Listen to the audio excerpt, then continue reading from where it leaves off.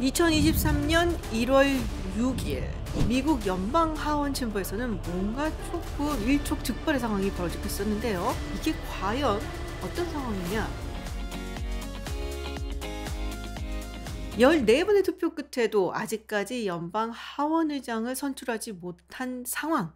한 의원이 다른 한 의원을 향해서 뭐라고 뭐라고 소리를 지르는 것 같습니다. 그랬더니 또 다른 의원이 다가와서 뒤에서 소리를 지르려는 이 의원을 잡고 입을 손으로 막는 상황이 연출이 됐어요. 누군가에게 소리를 지르는 것 같았던 이 사람은 알라바마주의 공화당 의원인 마이클 로저스고요. 그리고 뒤에서 이를 말리고 있었던 사람은 마찬가지로 노스캐롤라이나주의 공화당 의원인 허슨 의원이었습니다. 그래서 누구한테 소리를 지르고 있었던 것이냐? 바로 플로리다주 출신의 공화당 의원인 맷 게이츠 의원한테 소리를 지르고 있었던 건데요. 맷 게이츠 의원은 죽어도 케빈 메카시는 하원 의장이 되는 것을 못 보겠다. 강력하게 메카시 의장을 반대했었던 인물입니다. 이게 얼마 전에 있었던 미국 연방 하원의장 선거에서 있었던 일인데요. 결국 메카시 의장은 15번째 표결위에서 선출이 됐습니다. 근데 14번째 그리고 15번째 사이에 이런 일이 있었던 거죠.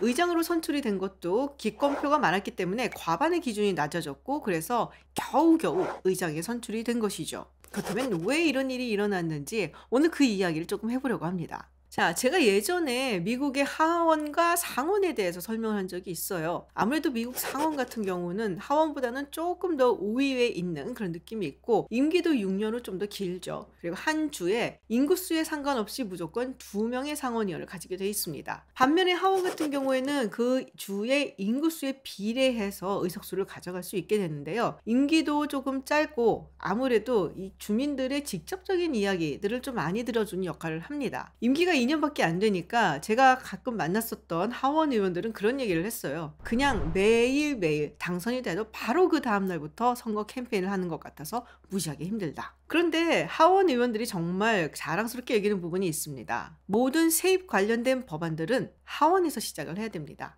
작년 11월에 중간 선거가 있었고 그리고 수정헌법 20조에 따라서 그 다음에 1월 3일에 새로운 의회가 시작하게 됩니다. 사실 의회가 시작하면서 가장 먼저 하는 일은 하원 의장을 선출하는 일이에요. 하원 의장이 선출이 돼야지 의장으로 하여금 이 의원들이 선서를 하고 그리고 공식적으로 의정 활동을 할 수가 있게 되는데 1월 3일에 하원 의장이 선출이 안 됐죠. 사실 1월 3일뿐 아니라 4일, 5일, 6일이 넘어가고 나서야 의장 선출이 가능했었던 겁니다. 근데 사실은 어, 하원 의장이라고 하더라도 꼭 하원 의원일 이유는 없습니다. 그리고 미국은 상당히 오랜 시간 동안 양당제를 운영해 왔었기 때문에 민주당 아니면 공화당 둘 중에 어느 당이 다수당이 되느냐에 따라서 그 당의 대표라든지 리더가 하원 의장에 선출이 되곤 했죠. 그래서 사실은 으레 뭐 다수당의 대표가 되겠지 라고 했기 때문에 뭐 요식행위라고 하면 조금 심한 말이긴 하지만은 그렇게 신경을 쓰지는 않았던 절차입니다. 물론 과반을 확보를 해야 되기 때문에 첫 번째 라운드에서 과반을 확보하지 못하면 그 다음 라운드로 갈 수 있겠다라는 생각은 하지만 마지막으로 그랬었던 것이 1923년이었거든요. 그러니까 대부분의 사람들은 그냥 케빈 메카시가 되지 않겠어? 라고 생각을 했었던 거죠. 물론 공화당과 민주당의 의석수 차이가 별로 되지 않고 그리고 공화당 내에 이 케빈 메카시 의원을 별로 안 좋아하는 사람들이 있다. 배반표가 나올 수 있다는 얘기는 선거가 끝나고 나서부터 있었습니다. 그래서 케빈 메카시 의장 같은 경우는 첫 번째 라운드에서는 조금 힘들 수 있겠지만 이렇게 15번째 될 줄은 몰랐죠. 처음에는 19명으로 시작을 했었는데요. 한때는 20명까지 늘어났었던 이 반란군들. 과연 어떤 사람들이길래 이 케빈 메카시가 하원 의장이 되는 것을 반대를 했던 걸까요?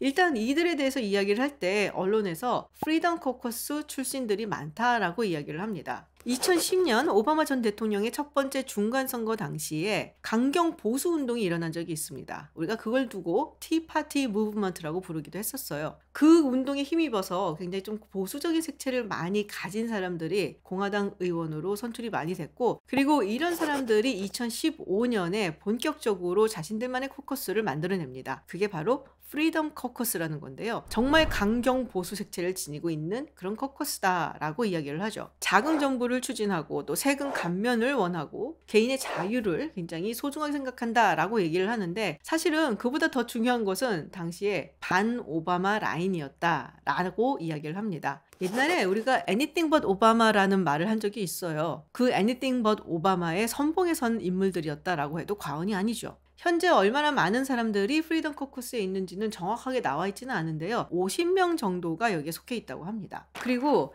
요번에 탈레반 20이라고 불렸던 이 사람들이 대체로 트럼프 전 대통령의 열렬한 지지자들입니다. 사실 트럼프 전 대통령을 열렬하게 지지한다라는 것은 기성 정치권에 대한 불만이 많다. 혹은 불신한다라는 의미도 되거든요. 특히나 이 공화당 지도부에 대해서는 상당히 큰 불신을 가지고 있다라고 생각을 해본다면 케빈 메카시 의장에 대해서도 불신을 가지고 있다라고 생각해 볼 수 있죠. 그런데 트럼프 전 대통령을 열렬히 지지한데도 트럼프 전 대통령이 전화를 하거나 혹은 뭐 메시지를 내면서 케빈 메카시를 의장으로 뽑아달라라고 이야기를 했음에도 불구하고 귓등으로 듣지도 않았다라는 점도 상당히 눈여겨볼 만합니다. 그리고 메카시 의장에 대한 개인적인 원한도 있다라는 얘기도 있어요. 항간에서는 메카시 의장이 이랬다 저랬다 좀 믿을 수 없는 그런 진퉁 보수가 아니다. 라는 얘기도 있습니다. 예를 들어 언론에서는 메카시 의장이 친 트럼프 인사다라고 이야기들을 많이 했는데요. 한때는 이 트럼프 전 대통령 뒷담화를 하다 걸린 적도 있거든요. 그런데 이 중에서 정말 정말 핵심 멤버로 내 눈에 흙이 들어가기 전까지는 메카시 의장은 안 된다라고 하는 사람이 있습니다. 처음에 보여드렸던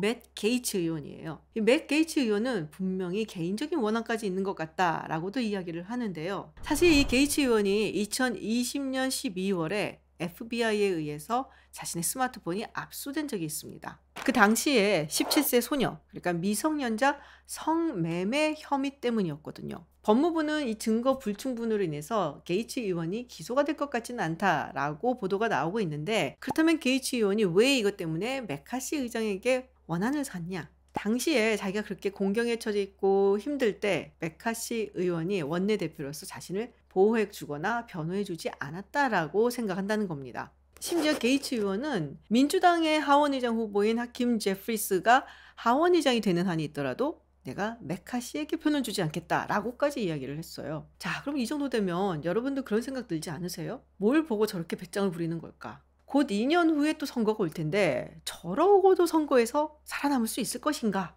이렇게 되면 다음 선거에서 당 차원에서 뭔가 불이익을 주지 않을까 라는 생각을 해볼 수도 있는데요. 미국의 의회 선거는 우리하고 좀 다른 게요. 공천제도가 없습니다. 그러니까 우리나라에서는 후보를 정당에서 공천을 해주죠. 그러다 보니까 이 정당 수뇌부라든지 지도부하고 좀 좋은 관계를 유지해야지 다음 선거에서 공천을 받을 확률이 높아지게 되는 거죠. 그래서 당론을 따르는 일도 많습니다. 근데 미국 같은 경우는 일단 후보가 되기 위해서 예비 선거를 치러야 돼요. 즉 정당의 예비 선거에서 후보를 정하고 후보가 정해지면은 11월에 민주당과 공화당의 후보들끼리 맞붙는 본선을 치르는 거죠. 그러니까 정당 지도부보다는 사실 더 중요한 것은 자신의 지역구에 있는 유권자들인 것이죠.